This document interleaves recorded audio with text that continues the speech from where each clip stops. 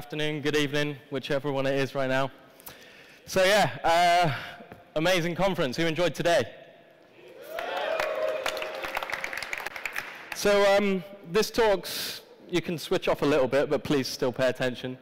Um, this isn't a technical talk as such. It's kind of uh, a little character that if you've been following the hashtag for NGNL, please don't do it now if, you, if you're going to go and look. But uh, you might have seen a character that I was tweeting uh, today. So he's going to join us and take us on a quite a, hopefully amusing and learning journey. Uh, so the, the talk is called Which Way is Up? Don't be obvious, and it's not that way. Um, so this is uh, a talk inspired by everything that's going on in the industry at the moment. So um, like I wake up every day and there's something new, and I'm like, what do I need to do? What, do I need to learn this? And there's been a couple of talks that have kind of briefly covered this today. So, uh, ahoy there. There's a, a, bit of a pirate theme. I'll start it off already. Uh, I'm Todd. I live in England. Uh, I'm 25. Um, I am a, yeah, I'm kind of in between jobs at the moment, not, not been fired. Uh, next week I start as a developer advocate at uh, Telerik. They're based in the US. So um, yeah, it's kind of my last week at uh, San Francisco-based startup this week. So it was good to go out doing a, a great keynote. So um, what are we going to talk about? Uh, the JavaScript boom. There's a lot of booming going on. A lot of sort of positives and negatives from this. There's a lot of people that wake up and go, oh my God, I don't know what to do next. And then there's a lot of people that go, yeah, I'm going to jump on this JavaScript stuff. I'm going to rewrite all my app in Webpack 3.7. Um, so we're going to look at that. We're going to look at people potentially feeling lost in the ecosystem. Those two kind of tie in. I personally believe that sharing knowledge is extremely important. So we're going to we're to use our little character to tell this, all these stories. Uh, and imposter syndrome. If anyone's encountered imposter syndrome, uh, we'll probably have at some point. We'll come on to the exact definition if you're unsure of it right now. And then getting outside of the comfort zone. I think that's really important as developers, not to just stay in our little box where we're content and we actually push ourselves forward. So uh, this is Jerry. Say hi to Jerry. Hi, So uh, Jay, I didn't come up with a second name from him, but the JS, I had to go with Jerry for Jay. So um, let's learn about Jerry before we can actually tell a story. So Jerry, he, he knows some JavaScript. He dabbles in jQuery and all this kind of stuff. He likes Angular uh, and long walks on the beach. This isn't his dating profile. Uh, he feels a little bit lost on what to learn. I think maybe, well, I feel like this sometimes. Uh, and he also feels a little bit out of place in the industry.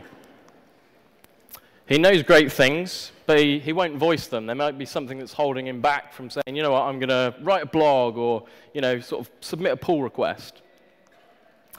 Jerry enjoys the comfort zone, and believe it or not, he's still looking for some treasure. So where did Jerry begin? This guy, jQuery. Who's never used jQuery? Exactly.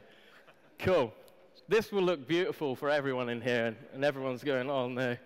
Uh, so uh, this is how we used to build apps, like we, and websites, of course. We still use jQuery. Angular 1 obviously has jqLite built in.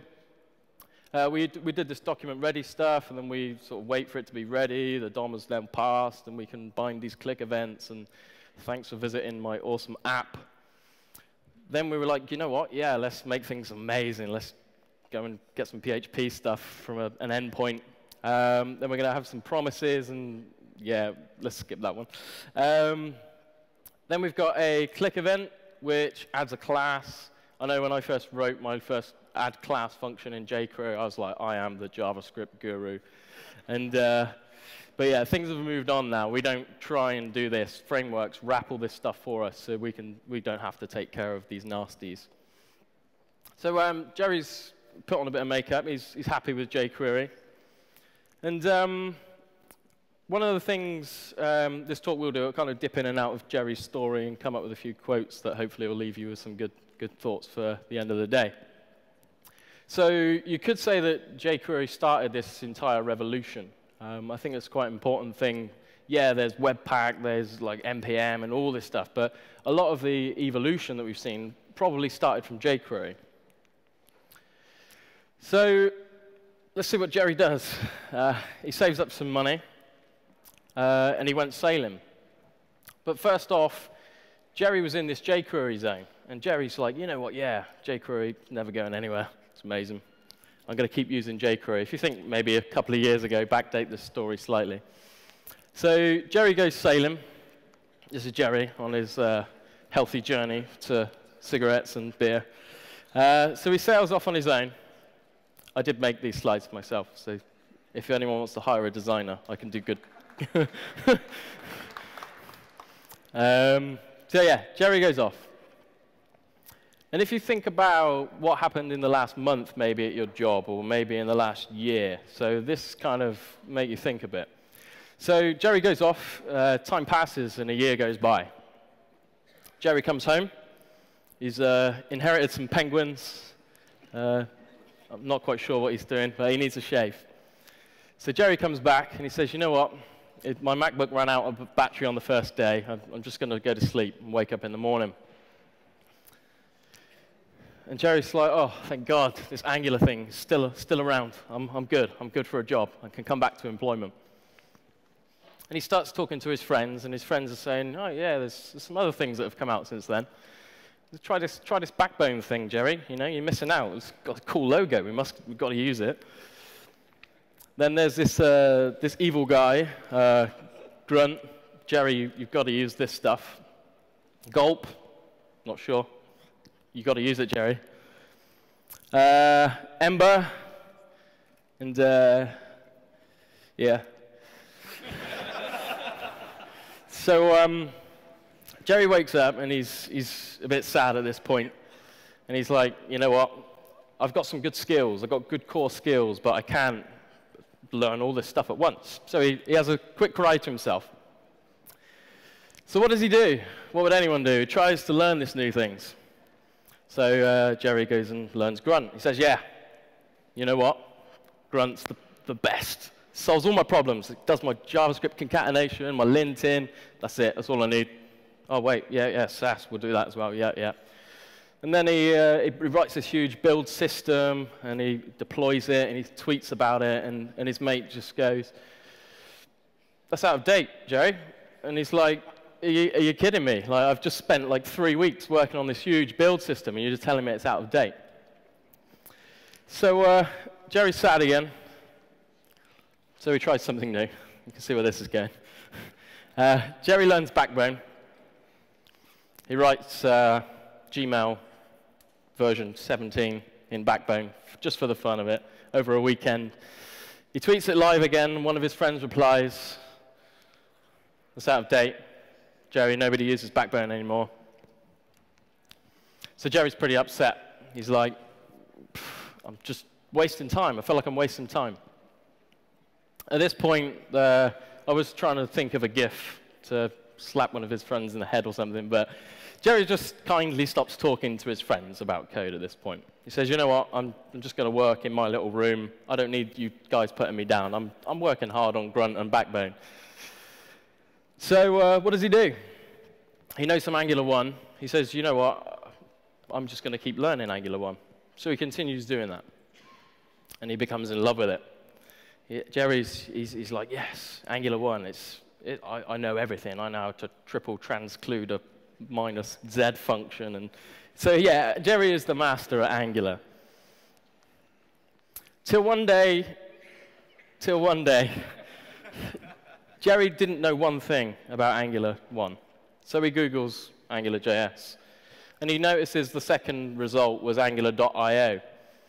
Being an inquisitive mind, Jerry clicks on this to find out Angular 2 is now out, and that he's going to have to throw away all his Angular 1 knowledge, potentially, to then go and learn Angular 2. So Jerry's been rinsing and repeating. He's been up and down with emotions right lately. So um, what does he do next? This is uh, sad, Jerry. This brought a tear to my eye, this slide. So Jerry's out. He's, he's walking along until he, he finds a, a particular ticket on the floor. Which happens to be an NGNL ticket. so, how did Jerry's day go so far? he, uh, he checked in, he got in. He was like, Yep, I'm going to hand my coat over. gonna, gonna, gonna take a leak. Uh, he was thirsty. Probably, probably shouldn't have drank that after that. Uh, then he hijacked the, uh, the Angular Air episode. Um, he, he, can't talk mind, so he didn't do a lot. But what did Jerry think about NGNL? He kind of, uh, he kind of attended a lot of talks. And I mean, there's, there's people probably sat in here going, I didn't know everything I looked at today. And that's completely okay. So this doesn't apply to everyone. It, there might be somebody here, um, but these have been, been inspired by like feelings I've had from looking at talks and going, "Wow, that is incredible! I need to learn this stuff. I feel out of place." So um, Jerry's a slight personification in some ways to tell this story. Uh, so Jerry feels out of place at NGNL. He's, he's like, "Wow, all these talks are so good, so good." And then he starts wandering around on his. This is a Pac-Man ghost pirate, by the way. Um, he starts wandering around for someone to talk to, and he meets Eric, ECMAScript Eric. so we don't have a, uh, a cutout of Eric, they were due to budget cuts. And uh, Jerry says to Eric, I'm feeling sad, you know, I feel out of place. I feel there's, there's so many better, better developers than me. Uh, so Eric kind of, I'll be Eric here and just console Jerry. So, what advice did this guy give? He said, Jerry, we're all still learning.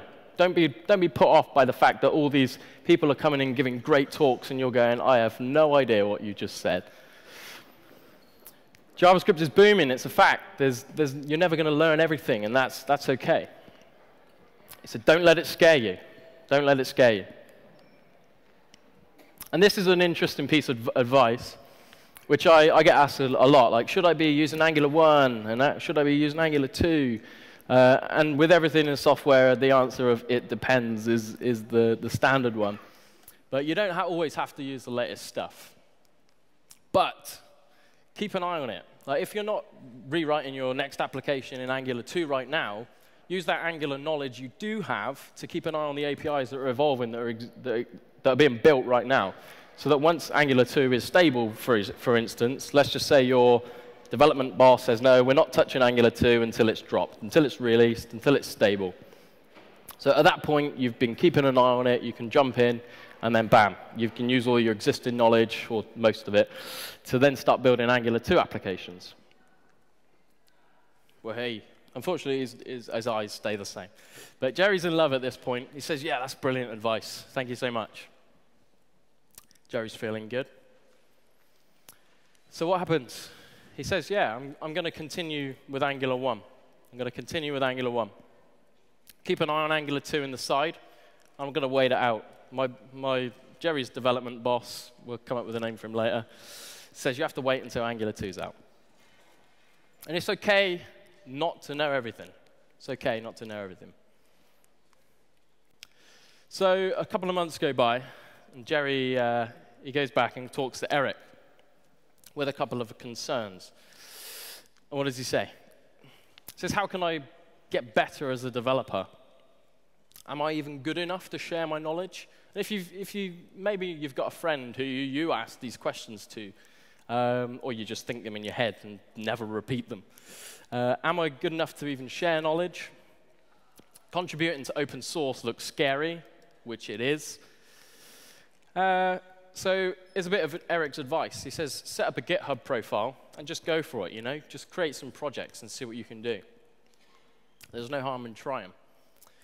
Uh, everybody has something to teach others. So there's a lot of people, uh, I, I, overheard a few conversations today, and they're like, yeah, this is my first conference, and you might feel a little bit out of place, but don't be. Like, you've, you've got something that you could teach somebody else. And um, like my previous two job roles, I was a lead engineer, and I would interview and then start training junior developers. And you don't sort of, you can learn a lot off of junior developers because they're, they're new to it and they don't think in the same way that you do. They think differently. And I've gone through training exercises and they've come up with a different solution. I've gone, you know what? That's actually maybe a better way of doing it. I'm not going to tell them that. and uh, his last piece of advice was nothing was achieved in the comfort zone, which is true. So this next part, we're going to go through these pieces of advices, and, of advices is that word, and see what happens. So this is uh, Jerry's glorious GitHub profile while he's partying on a beach. He's got uh, a project called Treasure Map Rum.js with minus five stars. Uh, I'll let you digest the little pirate jokes in that picture for another few seconds. You can see with his uh, repository graph, he sort of had this burst of, burst of commits at the beginning, and then there's this huge dry spell, and he's like, oh, I don't know what to do now. I just, just built some stuff. Nobody likes it. I'll give up. Uh, okay, what happens next then? So he's, he's, he's given up at this point, and some guy comes on his, on his uh, GitHub repo, and he's like, this code sucks, man. Don't, doesn't do what I want. You need to fix it. Uh, what does it say? I need to run this plugin in a virtual machine from the bottom of the ocean whilst defending myself against starfish. Add support now as this breaks all my projects. Jerry doesn't know what this means, so he's just like, I'm just going to leave it. And this is quite interesting because open source is really difficult. If, if you're one of those people who, I mean, we all get a little bit annoyed online and the code doesn't work and we throw our MacBooks against the wall. But if you think about like uh, the amount of effort that goes into an open source project, big or small, it's tremendous. So you got open source is difficult, right? So we've got repos. Let's start with a repo. Obviously, we'd have some code to write at this point. Um, we've then got issues to fix. We've got PRs to review. We've got comments and questions to answer. Then we've got to add tests. Nobody adds tests. Module systems to cater for. Uh, we've got versioning to think about. And yeah, let me go back. uh, and if you think about this as just one project, that's quite a lot of work. Now imagine if you've got five of those projects or 10 of those projects. So the next time you sort of look at an open source project that's quite popular or, or that does something, just maybe try and like jump in like Jerry will do soon and start helping other people. So um, Jerry starts off and he's like, you know what, I'm I'm pretty sad at this point. I've just had a bad comment on my, uh, my GitHub. And then he sort of says, you know what? I'm just going to let the comment go. So he keeps building, he keeps building. And he becomes in love with open source. And he, he, he lets the, the negatives just fade away. So Jerry succeeds in the end. Now, this this, uh, the word takeaways might not work here, but in England, a takeaway means some kind of junk food that you order. Um, I know in America it's called a takeout, and a lot of Dutch watch American TV, so I'm going to explain my poor joke. Uh, he's eating a pizza. So what did Jerry learn from this? He, said, he knows it's, it's intimidating sharing code. I remember like writing my first blog article. I thought, nobody's going to read this. Uh, don't even make a joke. don't read my first blog article, please. Uh, it's about PHP. Um, so it's intimidating sharing this code and putting your name on something and pushing it out there and saying, you know what, if anyone wants to use this, feel free.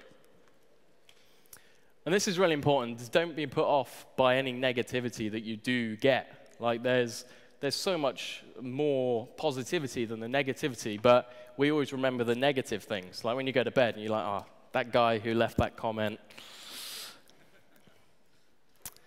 Have confidence in yourself. If you're sat sort of thinking, you know what, I've wrote some cool code last week, or I would really love to see this feature in Angular, or I, I want to work on this pull request, don't just sort of let someone else do it. Say, yeah, you know what, I'm going to do it. And I know bigger projects, there is a rush of, uh, like, everybody jumps on a, an issue to try and do it as quickly as possible. Keep creating and keep, keep improving. You won't build Redux, like the first open source project that you do. You, you won't build like AngularJS as the first project that you do. You will build like something small, maybe just a 10-line piece of function that helps somebody out. But if it helped you out, it's probably going to help someone else out. Everybody has something to teach others. So this was another piece of Eric's advice. This blog looks a little bit like mine. Um, I'm sorry for that. The artwork was out of budget on that as well. So uh, this is Jerry's blog. And he, he says, you know what, I'm going to take uh, Eric's advice. He said, I'm going to write an article. I'm going to do it. I'm going to steal Todd's blog and write an article about lazy loading with rum.js. And this can be scary, and I, I tweet a lot of the time, um, like probably over the last year, three or four times, like, like I really recommend setting up a blog. Like it has helped me, and it's helped people I've encouraged to set up a blog like tenfold. Um, not only from a job perspective, but when you think you might want to just do a simple blog like uh, explaining array prototype for each, for example, but then you think you know array for each, but when you start to write about it, you really, really know array for each, and you dig so much deeper into explanations and all this kind of stuff. So, uh, as ever, there's, um, there's this, this guy, Davy Jones, who left the bad GitHub comment. Uh, he says, uh, this code is slow and non-performant. You should use a reverse twisty loop with a Node Express platform installation and then gulpify all your assets into the right pipe XHR to Heroku with triple access tokens to HTTP up the network. So Jerry doesn't know what that means. I don't know what that means. If anyone does, please stand up. Um, so this was the guy who left a bad comment on GitHub. And Jerry's like, ah, oh, he's back. He's back. He wants to come and take the, take the mick out of my, uh, my GitHub pro project. And then uh, the next day, Jerry wakes up. He gets another, another comment and he's like, oh, no, it's, it's going to be a bad comment. And he, he goes to read it. He says, not bad, not bad. And what does not bad say to you? Like, if somebody commented, if you'd written a load of code and some articles and somebody put not bad, it's, it's not great, but it's not bad, which in my mind says that he took something away from that article. Like he would have taken something that he's written on that page uh, away with him. So he's going to check this out. Jerry's a little bit happier. Always like Happy Jerry. Uh, I hope I don't get sued by Disney or whoever for all these pictures. Um, so Elizabeth Swann, uh, she said, wow, this is amazing. Thank you so much for writing this. You just helped me with a project of mine. Thank you, thank you. And like I said, if you, if you write one piece of code that you think is helpful, people like this are going to think it's helpful too. And if you're going to help someone out, you're going to help someone else out because they're going to share that code as well. Jerry's like, yes, I need to keep blogging at this point. So uh, he keeps working on open source. He keeps working on blogging. He doesn't have a social life anymore. and uh, so he builds up his blog. He starts getting a reputation for himself. And he, installs this Google Analytics thing, which everyone's been telling him about. Thankfully, it's still in date. Uh, and it's got 1,021 concurrent users. And he's like, wow, where are all these people coming from? This is real as well. Jerry's blog is real. Uh, and it was at the top of Hacker News for three days. So uh, this is Jerry's lazy loading with run post. Just, how many points? 594 points. So it was there. It's got 102, yeah, 102 comments. So it went viral. His, his lazy loading with rum went viral. And if you've ever created uh, a piece of code that you've put on GitHub and shared it, or even an article that you've written um, that may not, may not go viral to this effect, but if you get 10 retweets or, uh, you know, uh, this kind of recognition for something that you've done, it makes you feel really good. So uh, this inspired him to keep going. And the edible takeaways. Jerry knows that the, the online world isn't always kind. He says to himself, the positives outweigh the negatives. And he had a, a negative comment, he had an all right comment, and he had a brilliant comment. And when he goes to bed, he's going to think about the brilliant comment that made his day. He also thinks that sharing knowledge is extremely important. He's shared enough knowledge to realize that, one, it's going to make him a better developer. One, people are going to find him and offer him potentially a, another job on a different boat or something. Um, but sharing knowledge uh, for Jerry was extremely important. It got him places. You can always teach some, someone something new. Building, you will succeed. You don't know code until you can write about it. And this is a, a quote that I put together because I tell this to people all the time. Back with the array for each example, is you think you know how to write an array for each, but when you start to blog about the API and the internal workings, you really start to know how things work. So when you actually then take the knowledge from your brain and, and try to explain it on paper to, or keys uh, in, our, in our modern age, uh, try and explain it to someone in a humanly way, that's extremely difficult. Um, and then you end up getting asked to talk at conferences like this, um, which, is a good, which is a great thing. Uh, and nothing was out achieved in the comfort zone. And uh, 20 minutes before this talk, I was not in my comfort zone. Um, I'm comfortable now. Um, that couch is very comfy. So uh, we, want, we want a round of applause in a second. But Angular 2 hits stable in Jerry's lifetime. It's got 6,982 votes. I have forward dated this in somewhere. Oh, okay. But Eric posted this. Angular 2 hits stable. And Jerry's like, yes, my time has come. My boss is going to let me use Angular 2. So he starts working with it. And now, taking Eric's last piece of advice is how does Jerry then step outside of his comfort zone? We know he likes working in the comfort zone. And it's this green button here. Who doesn't like or who would never press this green button on GitHub to someone else's project? I don't believe you. Right. I don't like pressing this green button. So, um, how does Jerry get himself out of the comfort zone? He goes onto the Angular repo. Uh, this is a made up issue, by the way, guys. Um, don't try and find it. Uh, and he goes and fixes a memory leak in the component compiler, whatever that might be. So um, he says, you know what? He presses the, the submit button. He's done his pull request. He slams his MacBook lid. he says, you know what? I'm not even going to look what happens. I don't want to know. Until he wakes up in the morning and he's like, oh, I wonder what happened with that repo. Could they have just, oh, there's, there's a couple of scenarios. They just closed the issue. No, Jerry, what on earth are you talking about? Or there's the other scenario where they provide him a bit of feedback, he then reiterates the code and then submits the pull request again. Or there's the, the better scenario for Jerry of where his pull request gets merged to Angular's core.